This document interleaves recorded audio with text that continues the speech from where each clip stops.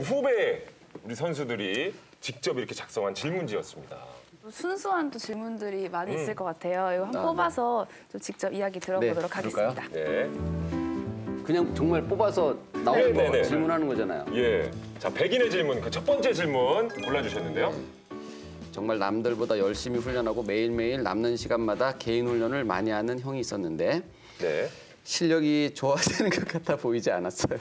아, 정말 열심히 했는데 실력이 좋아지는 것 같지 않다. 네, 열심히 해도 늘지 않는 것 같은데 왜 이제 어떡해요? 저 너무 궁금해요. 저 정말 너무 궁금해요. 아니 잠깐만요. 네. 그러니까 이제 아니 괜찮아요. 아니 너무 웃기잖아요 지금 이게. 예? 근데 아니, 그- 뭐 예. 내가 왜 웃냐면 이게 뭔지 알 것 같아서 그래요. 어, 그러세요? 네, 진짜 제가 중학교 때 어떤 형이 있었는데 진짜 열심히 하는 거예요. 예. 아침 저녁으로 하고 그 밤에 막 간식도 잘 안 먹고 밤에 바- 다 누웠는데도 막 복근 운동하고 막 이런 형이 있었어요. 음. 근데 동시에 내가 한 가지 의문이 왜저형왜안 늘지?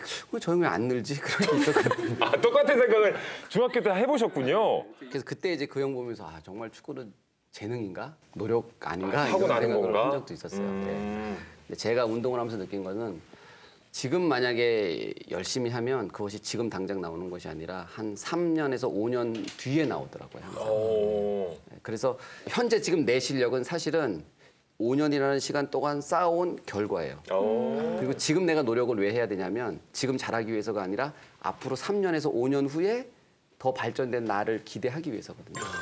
그래서 가장 중요한 거는 노력에 대해서는 어, 의심하지 않았으면 좋겠어요. 음. 왜냐하면 한 시간만큼 노력하면 정말 한 시간만큼 발전하고 한 방울 땀 흘리면 한 방울만큼 딱 돌아오더라고요.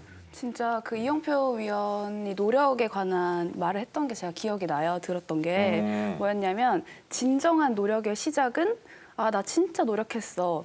이때 그 노력이 아니라 아 진짜 노력해서 이젠 더 이상 못하겠다. 그때부터가 진짜 노력의 시작이라고 하셨거든요. 그래서 오. 저도 그 말을 듣고 아 내가 이제부터 하는 게 노력이구나. 난 노력했던 게 아니구나 이런 생각을 또한 적이 있어요.